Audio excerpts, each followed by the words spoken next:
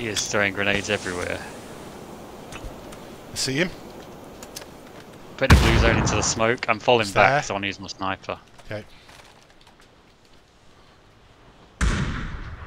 He's moving around to the right.